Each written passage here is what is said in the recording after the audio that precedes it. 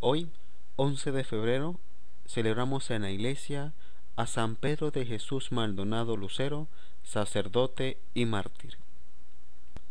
Nace en Sacramento, Chihuahua, el 8 de junio de 1892, hijo de Apolinar Maldonado y de Micaela Lucero. Tenía 17 años cuando sintió la vocación y por los consejos de sus maestros ingresó al Seminario Conciliar de Chihuahua.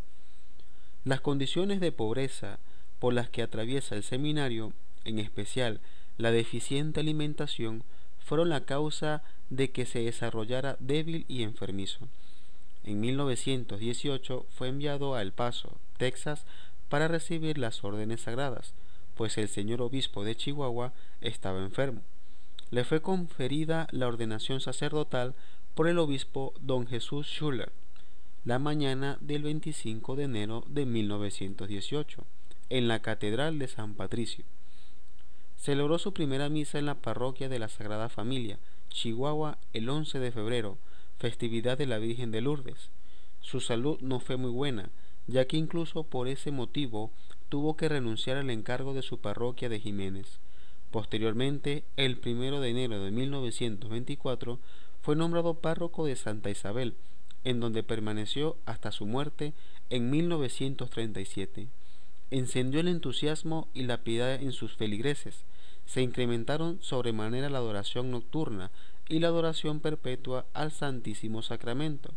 Fomentó el amor y devoción a la Santísima Virgen María en sus diversas advocaciones. En 1926 se desató la persecución religiosa, se suspendió el culto divino, se cerraron templos, seminarios y escuelas. Sin embargo, hasta 1929 no se registraron mayores conflictos debido a la sensatez de las autoridades de Chihuahua. Fue hasta 1931-1932 cuando se desató una nueva persecución en Chihuahua. Se persiguió y desterró a sacerdotes, se cerraron templos, se obligó a maestros a firmar declaraciones y adhesiones impias, se prohibieron manifestaciones de protesta. En 1934, el padre Maldonado fue preso y desterrado a El Paso, Texas, en donde no permaneció mucho tiempo, y en cuanto regresó a Santa Isabel, se dirigió al rancho El Pino, en donde permaneció un año, hasta que en 1936 decidió quedarse en un poblado cerca de Santa Isabel, la boquilla del río, donde una heroica familia cristiana convirtió su casa en oratorio, en el que casi públicamente celebraba los actos de culto. La Semana Santa de 1936 la celebró con especial solemnidad. El Viernes Santo realizó los oficios divinos, terminando el sermón del pésame, una persona lo llamó para que fuera a confesar a unos enfermos en un lugar peligroso de la parroquia.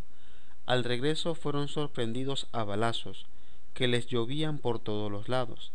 El 10 de febrero de 1937, miércoles de ceniza, se dedicó a confesar e imponer ceniza, cuando se presentaron un grupo de hombres armados y alcoholizados que iban a prender al padre, y aunque los pobladores quisieron ocultarlo, finalmente fue, fue arrestado.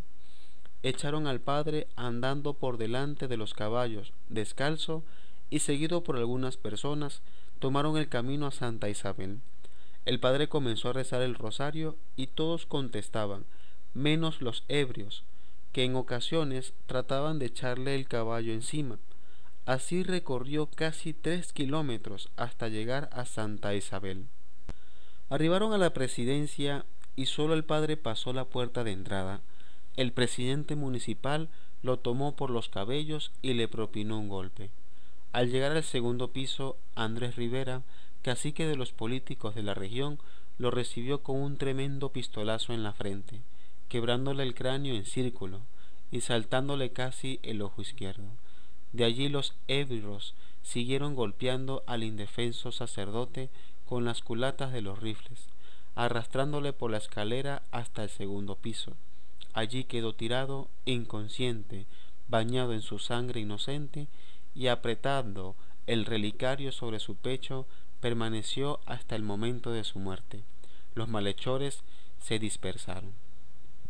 Aún con vida, fue socorrido por unas mujeres que lo llevaron a Chihuahua, al hospital civil, en donde recibió la absolución, la santa unción y la bendición papal. En la madrugada del día siguiente murió. El cadáver fue llevado a la casa episcopal y ataviado con todas las vestiduras sacerdotales, en un sencillo ataúd fue colocado en la capilla ardiente que se improvisó en la sala cementerio de Dolores, para después ser llevado al cementerio de Dolores en el lote de la familia Enríquez.